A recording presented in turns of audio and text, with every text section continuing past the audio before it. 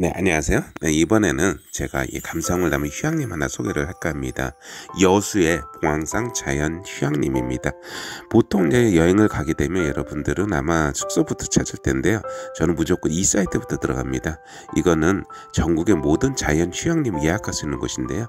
위치를 제가 선정을 하고 날짜를 선택을 한 다음에 그리고 나 검색을 해보면 그 근처에 있는 곳이 뜨게 되겠죠. 그러면 아 여기 괜찮네 하고 검색을 해보면 위치나 이용의 안내라든지 거기에 있는 평면도라든지 보면서 아 그러면 그 근처에 뭐가 있을지 한번 찾아보고 위치를 보면 아 이 근처에 여행지도 한번 알아볼 수가 있고 아 그럼 요게 딱이겠구나 생각을 하면 없이 바로 예약을 하는 좀 그런 시스템으로 저는 여행 계획을 이렇게 짜고 있습니다.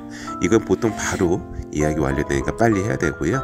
이렇게 찾은 여수는 이제 밤에 왔는데요. 먼저 배가 고파서 이렇게 맛있게 고기로 소주 한 잔 같이 시작을 했던 이 첫날의 여운이었고요.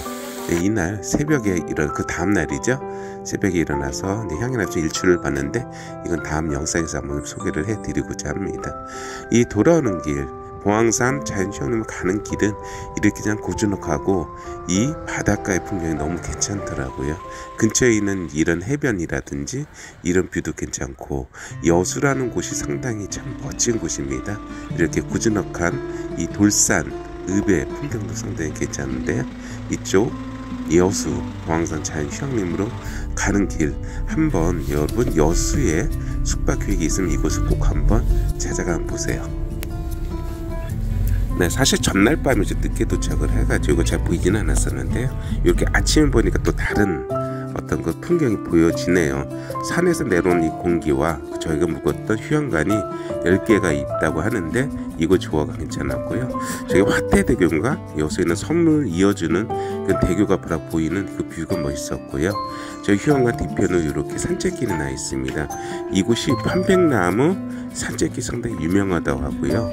이 피톤치드가 가득 내려오는 여유가 상당히 좀 괜찮았던 곳입니다. 이쪽으로 이렇게 산장이 걷다가 치유센터 쪽으로 한번 좀 옮겨봤고요. 치유센터에서 여러 체험 활동도 이루어진다고 하네요.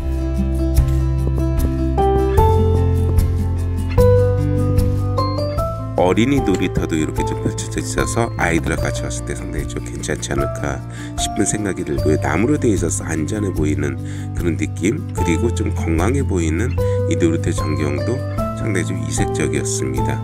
이 놀이터 요 뒤편으로 이렇게 식물원들이 한 몇 군데가 있어요. 이름이 몇 군데가 있습니다. 양지 식물원, 무음지 식물원, 무슨 식물원 이렇게 펼쳐져 있는데요. 다들 자기만의 특색 가지고 있는데 봄이나 가을에 오면 정말 이쁠 것 같은 생각이 들더라고 이렇게 산책길도 고즈넉하게 펼쳐져 있고 제2 야영장입니다. 여기 상당히 많은 데크들이 이렇게 펼쳐져 있는데요. 이 크기가 다 틀려요. 그러니 크기에 따라 가지고 가격이 정해졌는데 정말 어, 가격은 정말 마음에 들더라고요. 왜냐면 이거 같은 상당히 좀 크잖아요. 텐트 한 두세 개나 탑보까지도 칠 수 있는 네, 그런 어, 그런 이제 멋진 곳 일 것 같고요. 단점은 이제 자동차를 주차 밑에 세워야 되고 좀 약간 작은 느낌이 좀 들어요. 내 주변에 어떤 부대 활동이 그래도 상당히 괜찮았고요. 그 옆쪽으로 위쪽으로 카라반들이 있는데요. 네, 카라반 같은 경우도 뭐 가격 대비 상당히 좀 괜찮았습니다.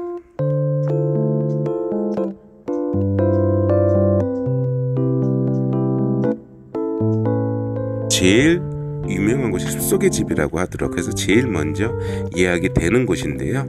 이 분위기, 숲속에 앉아있는 이 분위기도 상당히 좋지만 여기서 내려다는 뷰가 상당히 좀 높아요. 숲속이 좀 높은 데 위치해 있으니까 이런 좀 멋진 뷰가 좋고 가격마저도 좋습니다. 제일 야영장이 바로 그 아래에 있었는데요.